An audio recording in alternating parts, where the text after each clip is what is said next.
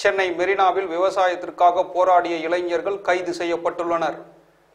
விவசாயிகளுக்கும் ஆதரவாகவும் hydro carbon திட்டத்திற்கு எதிராகவும் சென்னை மெரினாவில் கடலில் இளைஞர்கள் போராட்டத்தில் ஈடுபட்டதால் அங்கு பாதுகாப்பு அதிகரிக்கப்பட்டது. சமூக வலைத்தளங்களில் பரவும் தகவலை நம்பி போராட்டத்தில் பங்கேற்க வந்தவர்கள் கைது செய்யப்பட்டனர். இதையடுத்து நேற்றிரவு மெரினாவில் இருநூறுக்கும் மேற்பட்டோர் பாதுகாப்பு பணியில் ஈடுபடுத்தப்பட்டனர். வாகனங்களில் ரோந்து சென்று போலீசார் ஆங்காங்கே நின்றவர்களையும் வெளியேறுமாறு அறிவுறுத்தினர். கடற்கரைக்கு செல்லும் பாதைகளும் மூடப்பட்டிருந்தன.